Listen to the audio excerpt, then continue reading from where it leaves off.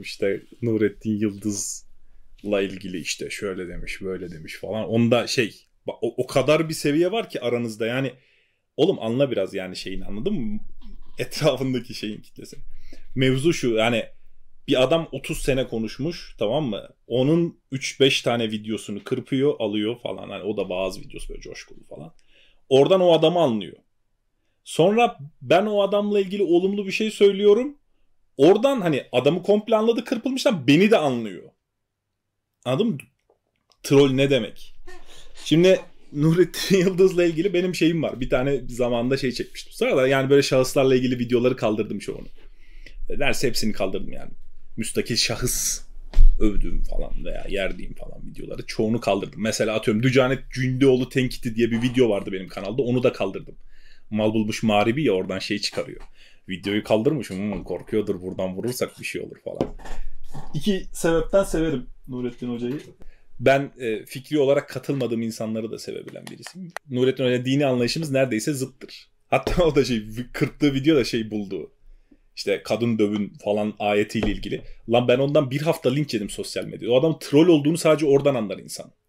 Hani sanki ben de kadınları dövün diyormuşum gibi falan oradan şey yakalamaya çalışıyor. Bir hafta linç yedim lan ben İslami camiadan. Nisa 34 ayetiyle video çekmeyi bıraktım. Aylarca video çekmedim o linçten sonra.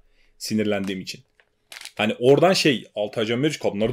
Adamın videosunu yakamaz. Sen adam şan diyor sonra Altay Cemmeriç de hani bir yerde demiş ki bu adamı seviyorum. İşte o yüzden o da dövün demiş oluyor falan. Ya oğlum bu düzeyler aşın lan artık. Aşın aşın magmadasınız. Dibin dibindesiniz yani ahlaken. Anladın mı? Ahlaken şöyle çok kötü durumdasınız. Farkında değilsiniz sadece. Tamam iki şeyden dolayı söylüyorum. Bir de bunu açıklamam bile sizin ne kadar düşük bir seviyede olduğunuzu gösteriyor. Yani bunun sebebini şu an anlatıyor olmam bu videoda ne kadar kötü bir durumda olduğunuzu gösteriyor zaten. Tamam İki şeyden severim. Bir ben sert bir şeyden Müslüman oldum. Mevdudi okudum ve Mevdudi serttir. Tamam Yani şu anda da orada değilim zaten. Yani obskürantizm videomda tenkit ettim zaten adamları. Dedim ki bu paradigma çöktü baba. Mevdudi'nin Seyyid Kutup paradigma çöktü. Oradan Müslüman oldum ve Nurettin Hoca'nın tavrı benim tekfirci olmamı engelledi. Bir. İki.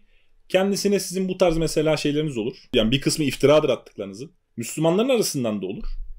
Bunlara da cevap vermez. Bu ahlakının hoşuma gittiğinden bahsettim. Yani ben olsam tahammül edemem diye ki zaten bak tahammül edemedim çekiyorum. Mesela sen ona saydırdığın zaman saydırsan cevap vermez sana. Benim hoşuma gidiyor bu ahlak. Bu kadar abi. Tamam. Şimdi adamın cımbızlanmış sözlerinden bana giydirdiği video çekecek herif mesela. Yani yeni gördüm tweetini. Oradan cımbızladığı şeyden şey çekecek ve algı oluşturmaya bir şey yapmaya çalışacak herif. Sen de o adamın lafıyla gelip yankı mısırıl da vıdı vıdı vıdı falan yapıyorsun. Benim videolarımdan ne düşündüğüm zaten belli anasını satayım. Neyin neyini çıkarmaya çalışıyorsun sen? Çok şey bir seviyedesiniz ya. Yorucu bir seviyedesiniz abi.